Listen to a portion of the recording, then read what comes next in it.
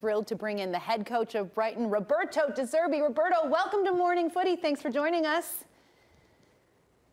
Yeah, good afternoon.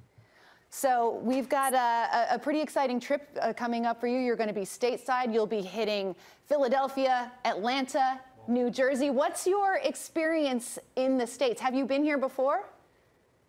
No, never. And I'm uh, excited to to come uh, in uh, United States and uh, to to um, logically I will come to work uh, to to improve my team and to and to play the friendly game, important friendly game, and uh, it will be a great experience, I think.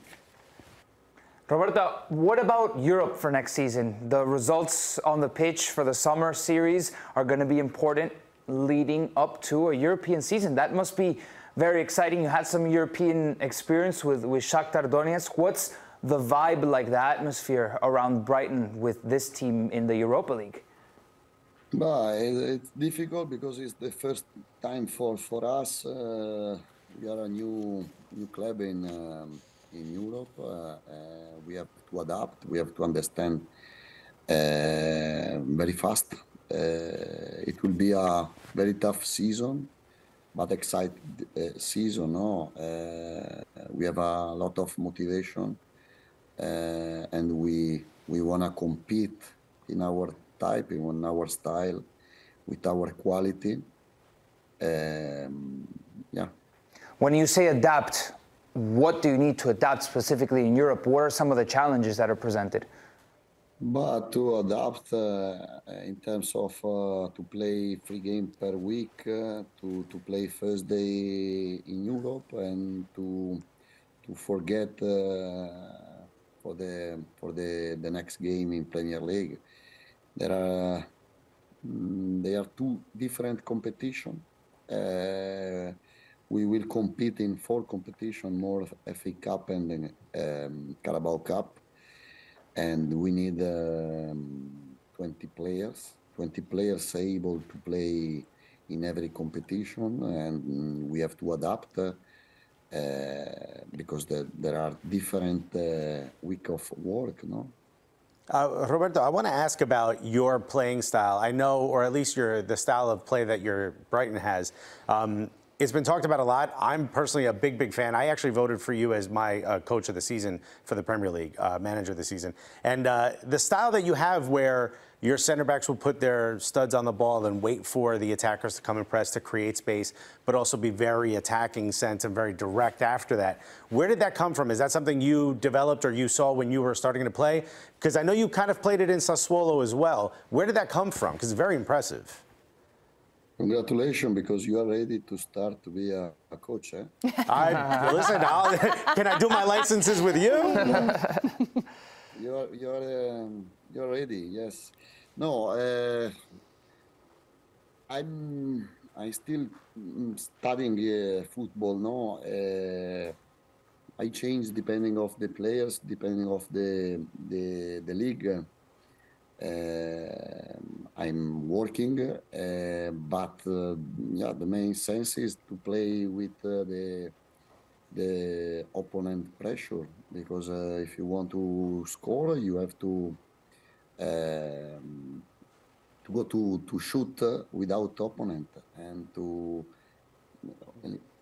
eliminate uh, opponent. You have to you have to play. Uh, but uh, you know, without the quality of players, uh, the, the coaches can't uh, win and can't be important. Interesting. Roberto, now that you, you're speaking to your translator, I imagine, um, as a foreign manager, for example, we saw Bielsa that uh, spoke through a translator to his players. For you, uh, as an Italian, English not being your first language, and usually in England, for some reason, people are very critical of those who don't speak English, but you know, you've managed to translate that emotion and, and, and the tactical knowledge to your players. How has that been for you, and, and has it presented a challenge this year? Well, I can tell you my opinion and my idea. I think uh, with the, press conf- uh, with the journalist in press conference, with the with the mm, player when uh, we are one to one is right uh, to speak in uh, English because I'm working in another country. I'm working not in I'm not working in my country and I can't uh, speak Italian. But uh, when I when I have a meeting with the with my players, I speak in Italian with my translator because I want to be clear and I want to achieve my my goal. And my goal is to transfer my emotion, my idea, my my my style of play, my style of life uh, to my players. No, and I can't. Uh, lose time in the meeting and I want to arrive uh, immediately. Well, Roberto, uh, Brighton is definitely a, a, club on the rise in terms of, of profile. In, in the States, there are, there are teams like Manchester United and Arsenal and Liverpool that have massive amounts of following. But for Brighton, maybe one of the, the smaller clubs, how important is it to get that, that global lens and gain more American fans, especially utilizing this summer series as an opportunity? No, I think uh, uh, generally we can't compete against uh, um, City, Liverpool, Arsenal, uh, Chelsea, Newcastle now.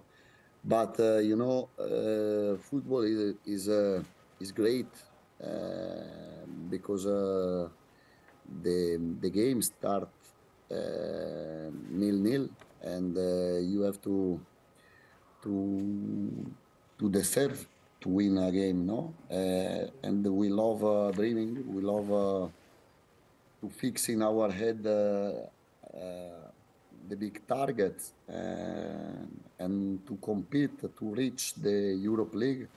For us is is like a, a win a Premier League, a win a Champions League. Uh, but we know we are Brighton. We know we are uh, not so big, uh, but we are strong. Uh, for uh, Roberto, for this summer series coming up, obviously there's a lot of fans in the U.S. that are going to be looking forward to see Brighton play and some of the some of the big names on the team. But how how similar do you think it will be how you can play in this preseason compared to what they're going to see in the regular season in the Premier League?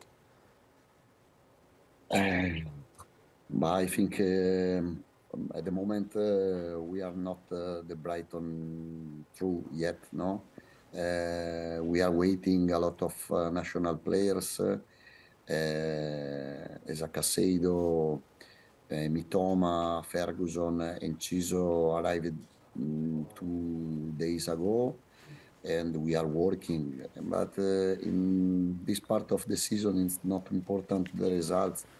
Most important is to um, improve to improve our uh, physical condition uh, and to to arrive uh, at the beginning of the season in the in the best condition. Mm, in the um, August and September, uh, we'll start the the season, the tough season. Uh, in in September, we'll uh, start the Europe League, and uh, that moment we have ready.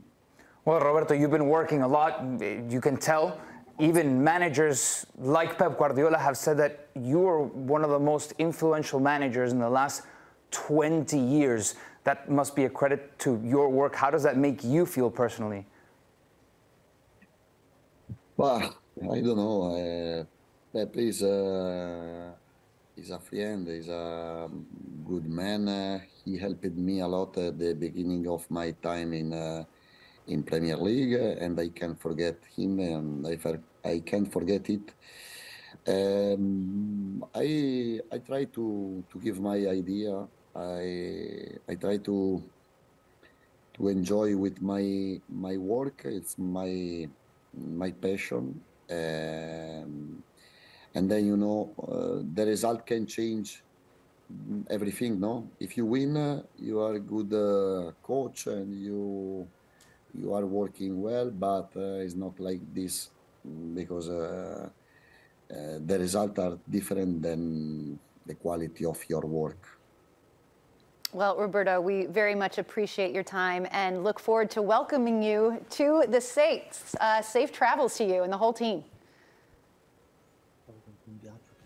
Thank you. All right, Thank let me very know if you want me to swing by and be your assistant coach.